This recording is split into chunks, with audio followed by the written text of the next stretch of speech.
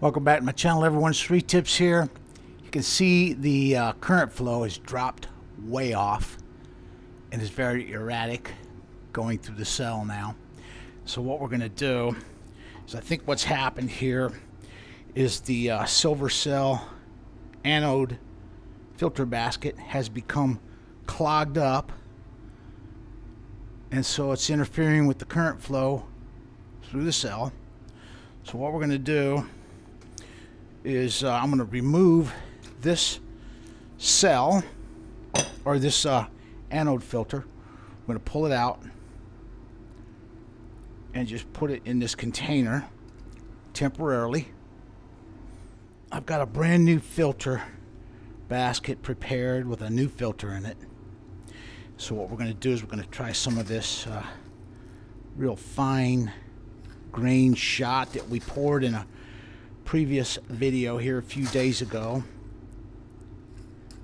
Oh yeah, this stuff's gonna make the other look like a sorry operation here. This is gonna create a lot of uh, contact through that cell because these are small grains of silver and uh, it's a brand new fresh anode filter. I'm going to set that right down in here. What I'll do is let this uh, let the electrolyte soak into that filter and make contact with that impure silver shot that we just added. But in the meantime while we wait for that let's take a look down inside this thing. And look in here I'll show you what we got in here. It's just mush. It's called uh, silver cell slimes you can see it's just like mud. And what it is, it's the insoluble material that gets trapped in this anode filter. And this material will contain traces of gold, traces of platinum group metals. And so that's why I save these. And then I can process them later on and recover the precious metals that these filters contain. Let's look down inside the cell here and see what it looks like. Inside of here, you can see that the crystal is growing in there, but it's slowed way down uh, due to the reduced current flow because that uh, anode filter was so plugged up. So now we're going to go ahead and try out this new filter and see if this will speed things up for us. This uh, anode bar has got a bunch of gunk on it. You see that? So what I'm going to do is uh, try to rinse a little bit of this off with some distilled water.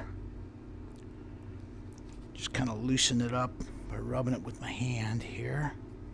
Just kind of clean that off out of there, off the bottom of this, because it will interfere with the flow of current through the silver cell. I should do better for us. I think we've got a long way to go here. We got lots of room in the cell. So I'm going to go ahead and fill this basket up you know what? Let's go ahead and put this in now. The power supply is on up there. I'm going to put the uh, anode electrode bar in there. I'm going to cover it with some shot just to make sure get the best current flow possible through the cell. Alright, we've got the fresh filter installed, some fresh, impure silver shot in that new filter. And if you look up here, you'll see that our amps have jumped all the way up to 3 amps flowing through the cell now. And what this will do is the current flow that does the work of dissolving the impure silver. So up at 3 amps, we should uh, make quick work of that single charge of impure silver that's in the cell. One more time, we're going to review this real quick. The positive side of the power supply is connected to that anode electrode bar that's buried in that silver, that impure silver in that filter.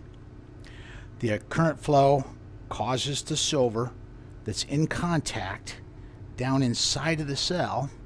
It's in contact and submerged in the electrolyte. See it? It's got some holes drilled in it. The current flow dissolves that impure silver. Insoluble material gets trapped in the filter. And then the current, the uh, silver ions that dissolve from that impure silver that I feed in, they travel down through this electrolyte and they plate out on the inside of the uh, stainless steel bowl. That's our cathode. That stainless steel bowl is connected to the negative side of the power supply right here. It's just a strap down there with a copper strap uh, hose clamped onto the stainless steel bowl. And it goes to the negative side of our power supply. So you can see we're well above 3 amps now, which is a good thing. That means this is going to go very quickly now. And this charge of silver in this anode basket now should dissolve very quickly. This will conclude the video. Thank you for watching.